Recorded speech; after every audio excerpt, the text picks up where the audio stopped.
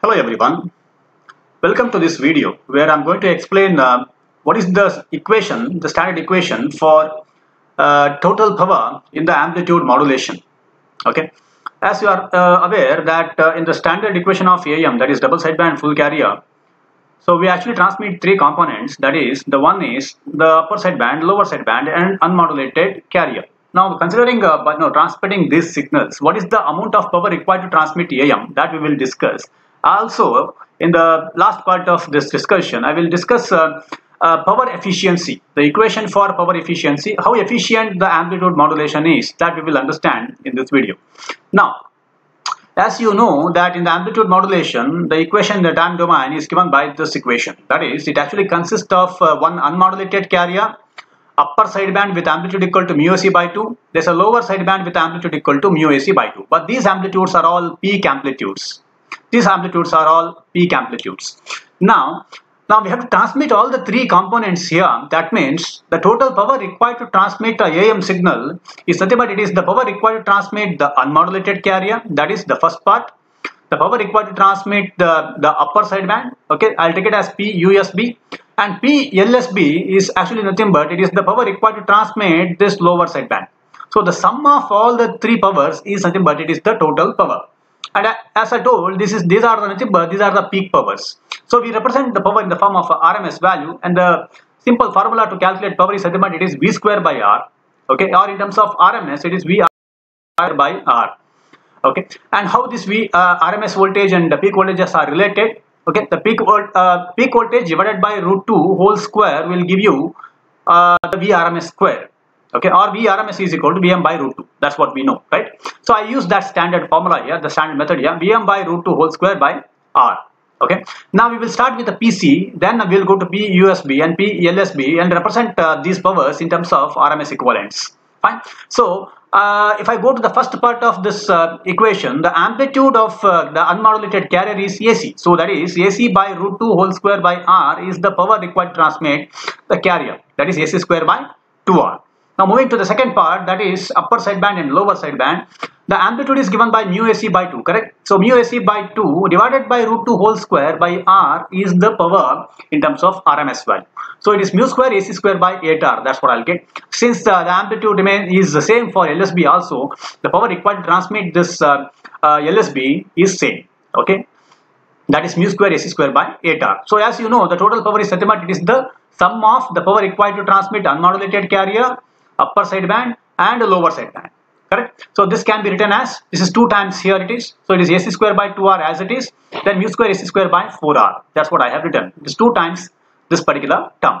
So i'll take a ac square by 2r outside. In that case i'll get a 1 plus mu square by 2 here we left with only mu square by 2 fine. So if this ac square by 2r is nothing but it is the carrier power which we got earlier in the previous slide.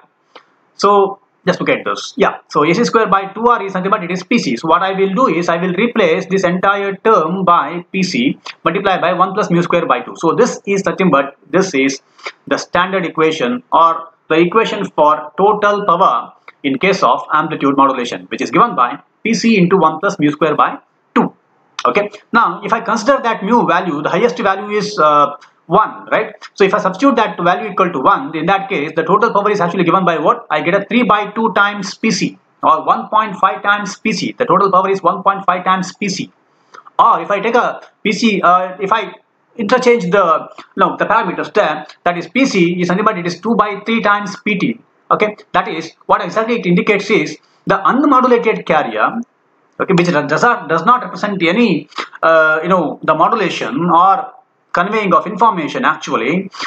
The power required to transmit that unmodulated carrier is nothing but it is two-third of the total power. Only the remaining one-third is the power required to transmit the sidebands. Okay so practically we can say in the double sideband uh, full carrier method this much of power is of no use it's a waste. Generating such a power a huge power is a waste right? So we will discuss about that. Now we will see what is the power required to transmit double sideband suppressed carrier signal. That is by suppressing a carrier. As I told, the power required to transmit that uh, carrier is of no use. What I, we can do normally is we can suppress the carrier and transmit only the two sidebands. And we get a, a type of modulation called double sideband suppressed carrier. So in that case, what is the power required to transmit such signals and how much power we can save that we will understand now. So starting with again this formula, I multiply, I got a PC into 1 plus mu square by 2, I multiply over here again, I get a PC plus PC mu square by 2 where this PC is the power required to transmit unmodulated carrier and this part is but it is the total sideband power. It is the total sideband power. I'm saying I'm saying total sideband power because I have a two sidebands in the equation which I need to transmit okay? So if i suppress this particular power in that case the double sideband suppressed carrier the power required to two sidebands uh, to transmit two sidebands is pc mu square by 2 that's it. That's what i have represented over here this particular term. Okay? Now further because two both the sidebands are having the same amplitude that is mu uh, square AC by 2 that means both are carrying the same information. So again instead of transmitting two sidebands it is better to transmit only single sideband okay? That is single sideband suppressed carrier method that's what we see. We can suppress further one sideband either upper sideband or a lower sideband and transmit only one sideband to convey my message to the receiver. So in that case we get a system called or a method modulation method called SSB single sideband transmission. So in that case just a divide by 2 again for this term will give you the power required to transmit only the one sideband. That is PC mu square by 4 okay? With the mu equal to 1 okay we are going to save around 66.66 percent. That is two-third of the total power is actually carrier power right? Isn't it? So that two-third is about it is 66.66 percent. So that much of power we are going to save actually in the double sideband suppressed carrier by eliminating the carrier signal. Further because one-third is about it is the power required to transmit both sidebands. That means one-sixth is the power required to transmit single sideband so in that case, just add upon that one sixth portion. That means we actually get 83.33%. That is the power saved actually here it is power saved remember 83.33% of the power is actually saved by transmitting uh, only one sideband huge amount of saving in terms of power right that is the beauty or advantage of single sideband transmission but the problem is complexity. We need to eliminate the things, the complexity is going to be added uh, for your transmitter design. Okay, that we need to care, take care. So in few applications like you know military communications and all, they go with a single sideband transmission. But in the normal radio broadcasting, they go with a double sideband full carrier method. Now,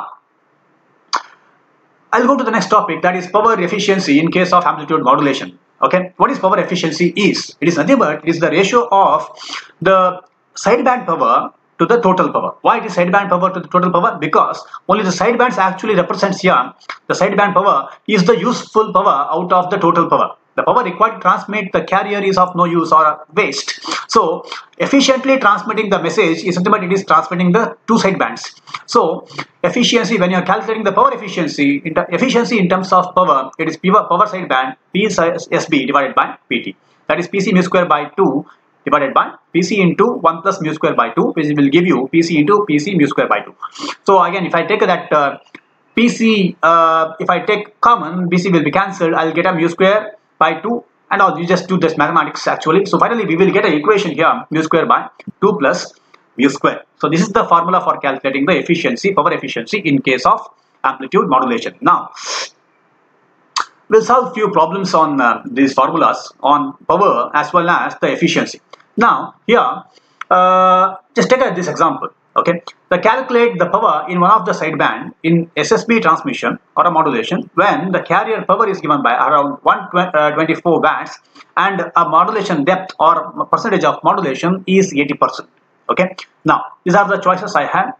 You know the formula for calculating the uh, power. Okay, so the formula is this. Okay, modulation index given is 0.8. The power carrier power is 124 watts power required to transmit a single sideband because they have given a single sideband here. It is pc mu square by 4 just substitute over there these parameters you will get the answer as 79.36 watts. That is answer is c. Okay? One more problem. Just look at this. When the modulation percentage is 75 percent and AM transmitter radiates 10 kilowatts of power. Okay? Now how much of this is the carrier power? We need to calculate the, what is PC. They have given a PT, the total power, as well as the percentage of modulation. These are the options what we have. Okay. Now, if I go to the solution part of this, just look at this. PC is equal to PT divided by 1 plus mu square by 2. So, I substituted uh, PT. Okay. That is 10 kilowatt. I substituted a mu here. Okay. I'll get a answer as 7.8 kilowatt. Again, the answer is C. One simple problem on uh, power efficiency. What is the maximum power efficiency in case of AM? Okay, that's what we need to calculate. The formula is mu square by 2 plus mu square. Maximum power efficiency we will get when the modulation index is maximum. That is, mu is equal to 1. So these are the options what I have.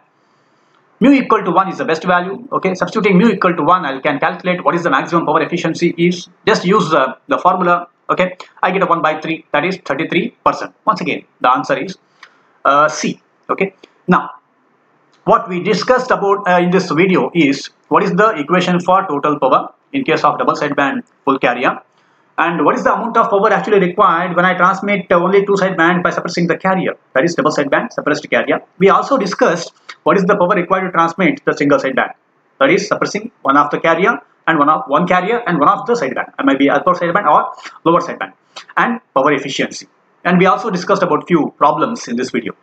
Uh, thank you for watching this video.